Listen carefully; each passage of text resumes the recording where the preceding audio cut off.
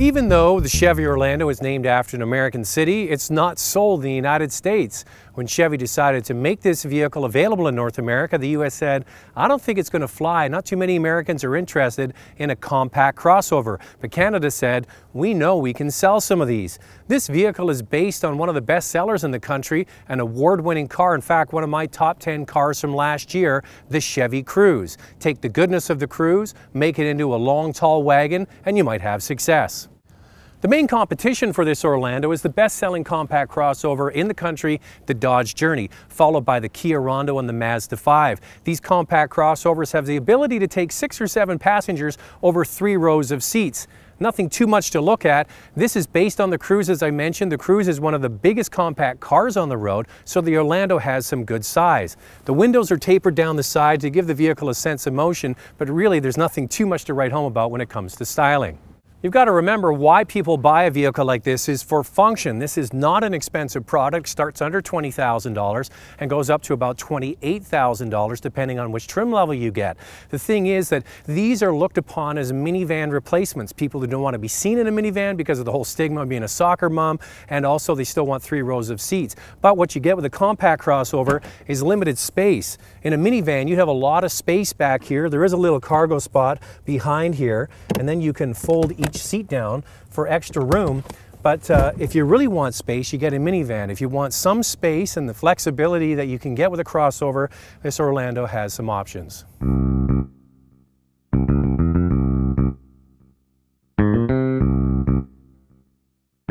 Now you have to commend Chevrolet for coming up with very comfortable interiors. They've done this over the last few models. The Equinox, the compact crossover, and then you get into the Cruze, the compact car, and now into the Orlando. Each one of them has very comfortable seats. Must be something to do with the shape of the seats and also the foam that they use.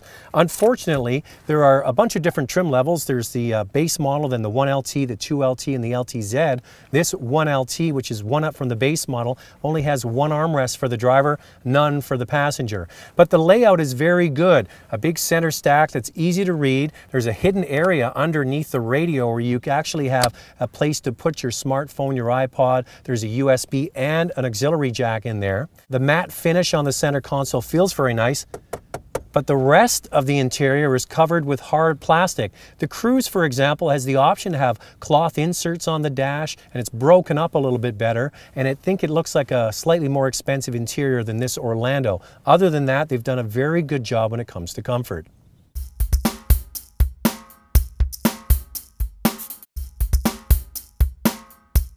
Because the Cruze is second only to the Jetta in terms of space in the back seat, you get lots of room. Same thing with the Orlando. And the third row of seats, you flip the second row seat forward and you can get into the third row of seats.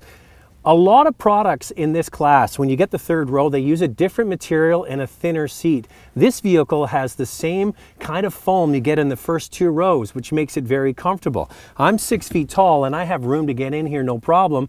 If you want to go on a long trip, if you want to drive to Orlando, this is probably not the vehicle to do it in. But you know, to take kids around or to go on short trips, even for adults in the back of this vehicle, there is plenty of space.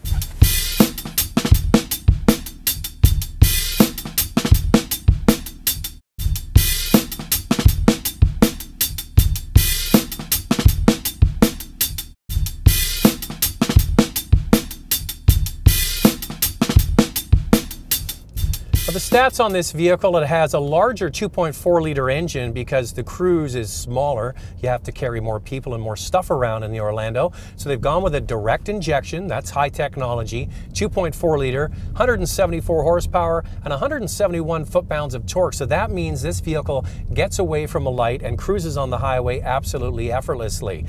I have to keep going back to the fact that it's based on the Cruze, which is one of the best vehicles if you're going to be day to day, in and out of traffic, sitting in congestion. It's very comfortable, smooth, and quiet. All of that is the same with the Orlando. It really is, with the very comfortable seats, a great place, and I use this term a lot, to spend some time, and it's absolutely true. You can actually get the Orlando with a six-speed manual transmission. Most people are going to opt for the six-speed automatic, and you can actually shift it with the uh, shifter here in the center console. So overall, for comfort, it's really excellent. It doesn't come with an available all-wheel drive system, and it doesn't come with a V6 option.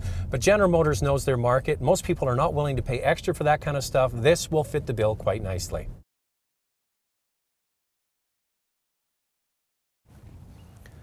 So should you consider the Orlando if you're looking for a compact people mover? Well, one thing to think about, it's not available with all-wheel drive and it's not available with a V6. The Journey does have that as an option, but the reality is most Canadians driving in urban settings, taking kids to school and hockey practice and going to Tim Hortons, this will fill the bill. It really is a smooth and quiet vehicle. I can't overstate that enough. If you haven't driven the Cruze, it is a really nice vehicle to drive and a lot of that is embedded in this Orlando. There could be some more standard features on the inside like Bluetooth Bluetooth and heated seats as an option, but it really is a practical vehicle. It's not expensive either. So if you are in the market for an inexpensive people mover, you certainly should try the Orlando.